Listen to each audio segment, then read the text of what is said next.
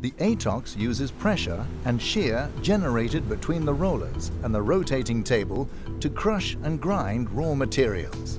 Feed material is directed onto the grinding table by the feed chute. The rotation of the grinding table accelerates the material towards the grinding track and passes it under the rollers. Partially ground material passes over the dam ring, encircling the grinding table and into the hot gas stream coming from the nozzle ring.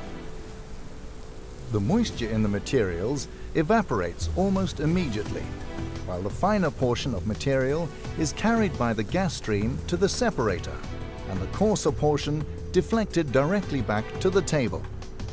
The separator allows material that has reached the required fineness to leave the mill, while it rejects oversized material and sends it back to the table for further grinding.